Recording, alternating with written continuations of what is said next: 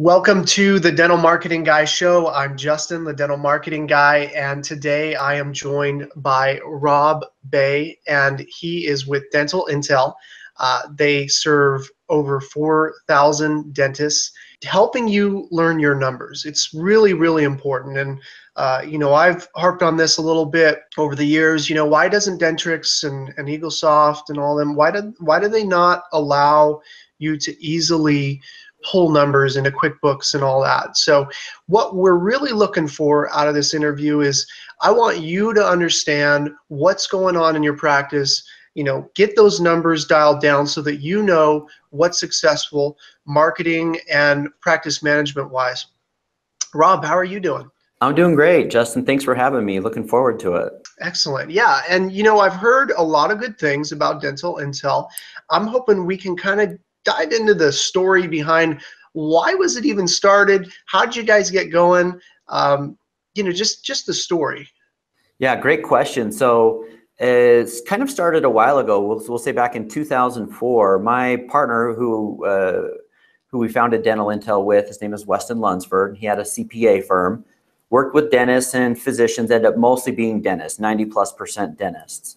And the firm was involved really in tax strategy and bookkeeping, personal financial management, and trying to really help dentists make their lives better. Uh, you know, better financially, better, better overall, and have a better handle on things. But kept bumping up into this aspect of what's going on within the practice and how is that then driving the income to the to the dentist personally. And uh, shortly after that, he and I joined together uh, and worked together within within the CPA firm. Uh, I was from the technology side of things. And we started down that, that road of trying to understand that. And a lot of it was because we would see people that we knew and we cared about, friends of ours, that were struggling and they were frustrated. And they've been working hard, you know, spent all, went into all this debt, uh, did everything that they could, build up their practice, at it for a while, and the practice just plateaued and they're just still not where they want it to be. And they see all their friends that are out there you know they're out there killing it they're doing great supposedly and they just are not reaching their ex- personal expectations. And so but we saw people also who were really doing great. And you know not every dentist out there can be can have be in the perfect location with the best demographic and have amazing clinical skills and awesome business skills and perfect communication with their patients be super attractive. If that was repeatable and everybody, every dentist could do that, they'd they'll be successful, right? But we will try to find things that reasons, uh, things that dentists could do that was re, that was repeatable, that they could that they could find and that they could look at. And what we found is using data and information to drive their decisions was something that was repeatable and they could utilize to to be successful and then acting on that data specifically was was the most important the most important thing so that's kind of a little bit about how we came about and and why. And uh, part of it that's been really gratifying for us is the is seeing what happens in these dental offices. Um, there's a, a, dentist that I've known for quite a while. Um, he's from a community, a smaller community that's not too far away from us. When we first met this dentist, um, been practicing for eight or nine years, and he felt like he had, he's in a smaller town. Felt like he had a bad reputation in his town. Was going to sell his practice and go be an associate the rest of his life. And at that point, the most money he'd made was $76,000. And met him, said, and he, he was in that dilemma. We said, don't sell your practice. Let's look at your data, look at your numbers, let's find out what's going on. And as we did that, we found out that, you know, what his perception of what was happening wasn't really what was happening. He did not really have a bad reputation. He was consistently getting 20, 25 new patients in a small town. Uh, he had plenty of patients, but there were some things systems wise that he wasn't doing as he should that was causing it, as well as his confidence being down, which was causing some other issues. And so as he addressed that, started measuring those things, putting systems in place, and having his team help in that, it totally changed his practice around. And within four months, he was on target to make $200,000 and ran into him not too long ago and didn't even recognize the guy uh, because his confidence was so much better. And he told me that he made almost $450,000 that last year. So, you know, data is powerful for helping a dentist make the right decisions, especially when they have their team their team members involved in using data to uh, to drive their practice forward. That's really interesting. Um, so as far as actionable tips, uh, what have you found to really some of the low hanging fruit in terms of helping dentists? Uh, if you know your numbers, uh, whether you're using Dental Intel or not, what kind of numbers do you think are really actionable and really help? Because when you say that dentist had 20, 25 new patients per month, most dentists that I talk to would say that's pretty good. So, so I mean, you know, in terms of uh, what what kind of numbers do you find are the most important, and then what actions could our listeners take on that data? Yeah, really, really great question because a lot of times I ask dentists, "What do you measure?" And they always say three things: I measure production, collections, new patients. Not one of those tells us that you made money. None of them do. And and so we got to figure out what is it that drives success in a, in a dental practice. And there is a mathematical formula that equals success in a dental practice. And this is the formula. It's super simple. It's how many visits do we have over a period of time, month or whatever. We're going to multiply that by how much do we produce on average per visit. We're going to multiply that by our collection percentage. And that's our profitability. And if you think of each of these kind of as levers, you know, those these these four things, visits, production per visit, collection percentage, overhead, as four levers and we look at our practice this way, we can it gives us a starting point at least where we can say, do I have enough visits? Am I at capacity? Am I near capacity? Am I an open capacity practice, a closed capacity practice? Once I have people here, do I produce enough per visit? And there's a lot of things that are driving each of these things. If we do that, are we collecting the money and in a timely fashion? And then what's our overhead, which then equals our profitability? So we can start to look and see where are the areas that we need to focus on? Now, when you ask about lowest hanging fruit, um, there's a lot of low hanging fruit in every single practice, a ton of it. Practices that are really struggling have it, practices that are super successful have it. There's a practice that we started working with in September that was doing six, seven hundred thousand dollars a month. And even in that practice, there was a ton of low hanging fruit that they started working on and capitalizing on. This is a practice that's in Florida, big practice. Um, this last month, they did $1.2 million. And it's just a matter of finding those things. And, and what I'm talking about here is a lot of it in a dental practice where, where we see a lot of this low hanging fruit is if we're looking at production, collection, new patients, and we're focusing on those things, even if we're spending money and we're bringing in new patients, practices have a hard time. There's a reason why practices will have constantly new patients, new patients, new patients, new patients, but they never are adding a hygienist. They're never growing in production. They're never collecting more money and they're not taking home more money. And it's because they have attrition. They're losing those patients as quickly as they're bringing the door. The value of a new patient can be significantly increased exponentially if we know how to hold on to that patient for an extended period of time. And where we see this attrition happen all the time uh, when somebody comes in as a new patient, there's uh, less than a 50% chance that that patient's going to come back for a second visit, statistically. Uh, there's, yeah, I mean, I know it's it's a little bit that's a little bit 50%, shocking. Fifty percent. So so it's less so than 50, across the board. It's less than fifty percent. It's forty. It's low forty percent chance that they're going to come back for a second visit. And I could get into the reasons about why and what drives it, but the important, important part to, to realize is that we're spending money, we're bringing new patients, and from a system, it's not even anything patient related. It's a systems based issue that's causing this. And so, one, we need to know that it's happening, we need to know where we're at. Two, if we know who those patients are, we can take action on it, especially because it's not a patient based issue. You know, if it was you, Justin, and you came into our office and then you didn't schedule your next appointment and it's because it's our fault if i call you if if there's something that's then creating a trigger and prompting me justin was here yesterday he's a new patient and we didn't reschedule him to come back if i call you the next day there's something that prompts me to do that. The data is, is used to prompt me. And then i call you and i say hey justin this is rob at awesome dental practice. You were here yesterday new patient. We love you. You loved us. You had a great experience. We screwed up and we failed to schedule you for your next appointment, some of those patients are going to say no, but a lot of them are going to say yes. And, and so there's a lot of situations like that where, people are losing patients, broken appointments. You know, when a patient cancels or no shows, uh, when somebody comes in for hygiene, are we reappointing them? Uh, there's a myriad of ways where attrition is happening, where people are bringing in all these new patients and they're getting, there's a practice I was just looking at earlier today, averaged over 200 new patients a month. The practice is declining. They're declining because they're losing more than 200 patients a month uh, in attrition. And it happens all it happens all the time. So we can try to outpace it with new patients and try to get 300 new patients, or we can try to minimize attrition or work on both of those so we can actually grow the practice. There's a lot of low hanging fruit in those areas. So increasing the lifetime value of a new patient. Now, one of the things that I find really interesting is uh, you're not just offering software as a service.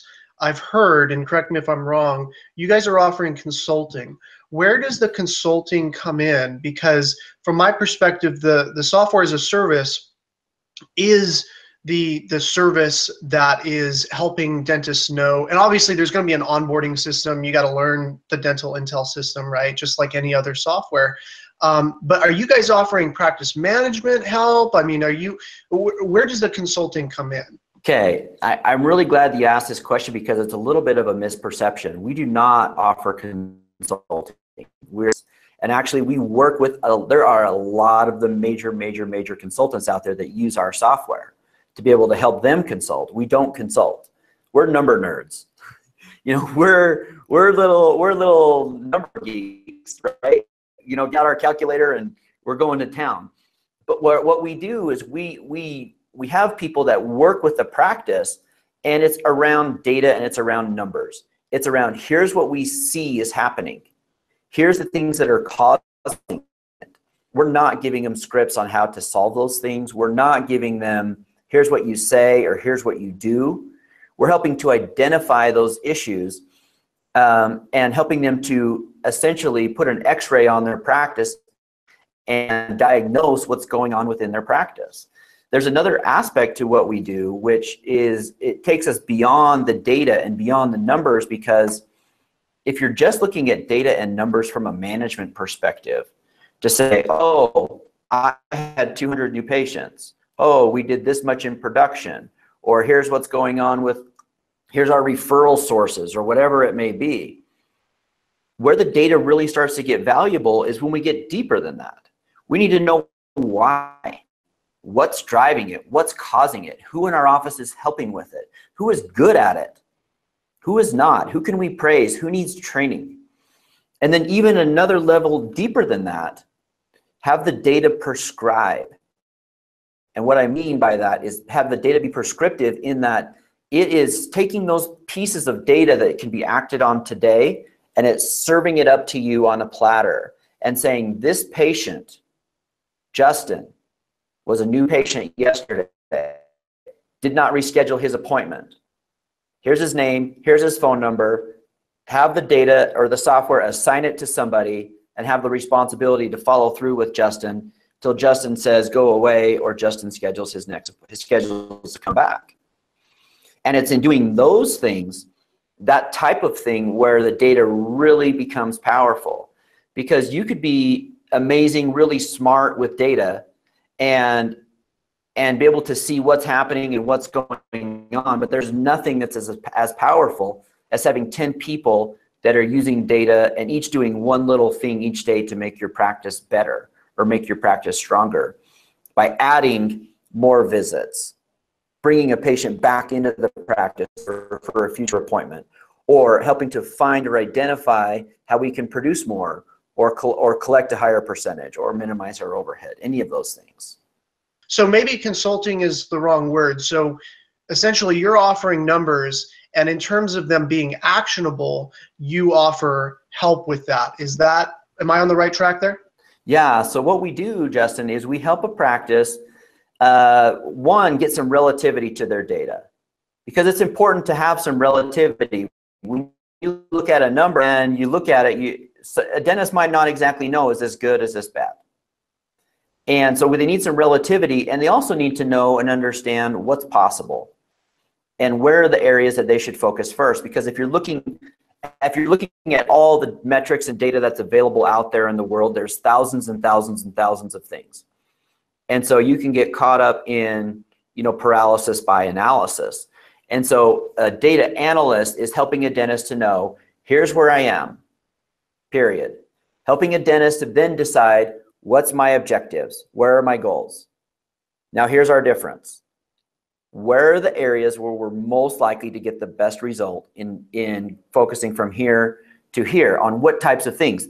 Is it improving the visits? Is it production per visit? Is it, is it these things? And then what is driving that in the practice? What are the metrics that need to be focused on that are going to improve those things? And that's really what they're about. And then training, training, training team members on how to use data, how to look at numbers, what they should be looking at that's relevant and pertinent to them in their specific role, whether they're a hygienist, an office manager, a front desk person, assistant, treatment coordinator, whatever it may be. Excellent. Excellent. Some quick actionable tips that don't rely on dental intel uh, for our for our listeners. What what would you say one to three, maybe more tips in terms of here's how you're going to get to the bottom of your numbers? Okay, really good question. Start with this. Start with this formula. Visits times production per visit times collection percentage minus overhead. Go look those things up. These first two equal production. Visits times production per visit. If we look at production and it's not where we want it to be, there's nothing inherent about it that will tell us what to do. If we split this out, then we can start to look and see, okay, my visits are declining. I'm not at capacity. Then you know, we, we start to get some understanding about what's going on here. Or when we're looking at our collection per, excuse me, our um, production per visit. If we don't know what that is, take your, your total production, divide it by how many visits that you had in the last month and do that for a few months and you'll know where that's at. Relativity is it, if you're an average practice, you're going to be between 250 and $300. If you're doing good at this, you'll be over $400. And we have many practices that are $1,000 or better at, at this find out where you're at in these things and then from there you want to start asking the questions why? And what if i'm doing well why? What where am i doing well? Who is helping me do well? You know wh- what where am i not doing as well? What's causing it? What's driving it? Who's involved? Same thing here. If my visits are not where i want them to be start asking that question why? Why? Is it because i'm having too many broken appointments Am I not having enough new patients? Am I getting new patients, but they're but they're not coming back? Am I not reappointing patients in hygiene? Uh, whatever it may be, start asking those questions why, and then that will lead you to what your action should be. If you're not, if data is not taking you to an action, it's useless. There's no reason to measure something that you're not going to take action on. And so that that would be one key aspect. Second thing, and when you talked about the low hanging fruit, is I would go find that low hanging fruit. Of all of these things, the easiest one to improve is how many visits we have. And an average practice operates at about 51% capacity. And so, in order to improve this, we need to get more patient visits. We need more patients. And that may be through marketing efforts to bring in new patients. It may be in minimizing our attrition or bringing back patients that we've lost. And where we lose them is they come in new and we don't reschedule them. They come in for a hygiene visit, we don't reschedule them. They break uh, an appointment, either they no show or they cancel. And we just let them walk out the door and, and walk away. Go find out who those people are and assign somebody to take action on those on those patients. Our software automatically does that for you. But if you're not using it, go try to go track those people down. And, and if you do, it will help you to be able to then take action and, and capitalize on that lowest hanging fruit. Excellent. Excellent. I love it. Uh, so where can the viewers and the listeners find you? Yeah, best where they can find us is on dentalintel.com. Uh, if you're on dentalintel.com, you can schedule a demo on there but also wanted to offer something to some of your people who are on here, if that's okay. Is that okay? Absolutely. um, we for for your listeners who are listening to this, we want to offer them a free snapshot of their data. And what I mean is, we will do uh, we will pull the data, we'll we'll build the dashboard, and we will show you your own specific data and help you see what's happening and what's going on. And in doing that, then you'll have a good idea where those areas are. If you choose to then continue on with the data, you can, but there's no obligation to. It's a free a free snapshot that we want to provide. And in order to do that, uh, best easiest way to do that is I'm going to give a, a number that you can text to.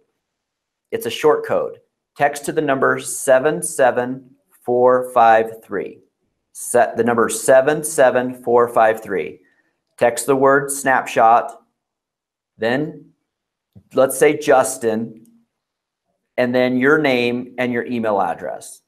We'll follow up with you to be able to get you your free snapshot. So to the number 77453, text snapshot, S N A P S H O T, then Justin, so we know that you found us from here, then your own name, and then your email address, and then we'll contact you to get that set up for you for free.